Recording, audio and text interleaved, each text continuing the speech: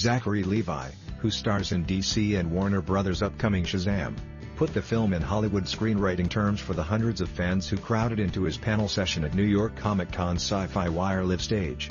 It's big meets Superman, Levi said. There's levity built into it, it's not that it skews younger. It just happens to have younger in its nature. The film, set for release on April 5, 2019, centers on foster child Billy Batson, a teenager able to transform into the titular adult superhero Shazam, portrayed by Levi. Batson derives his heroic attributes by saying, Shazam, an acronym for the ancient world gods and historical figures Solomon, Hercules, Atlas, Zeus, Achilles, and Mercury.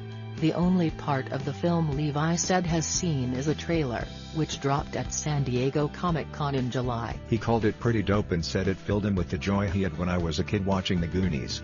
Levi, known for his title role in NBC's sardonic action series Chuck as well as more recent film roles in films like Thor. I'm basically playing myself, he said of Shazam. I get to play a 14-year-old, which is very natural to me because I am a manchild. As a self-described comic book lover, he acknowledged that fans of Shazam have been waiting for a long time. The comic book dates to the 1930s. That can lead to a lot of passion in a negative way, he said. But am going to do my best. The hyper-chatty 20-minute talk, conducted amid the den of one of the large halls in the Javits Center, showcased Levi's antic, verbal tendencies.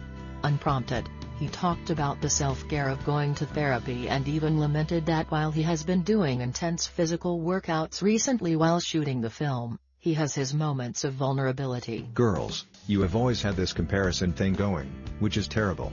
When you're walking by any newsstand, you see all of the magazines and everything is photoshopped, he said. But guys have it too. He explained that he had woken up recently and checked his phone. Chris Hemsworth had posted a video on Instagram of him getting shredded at the gym, Levi said. We compare ourselves too. I thought, I have been working so hard and am still not there. Levi sighed. We have to be patient with ourselves.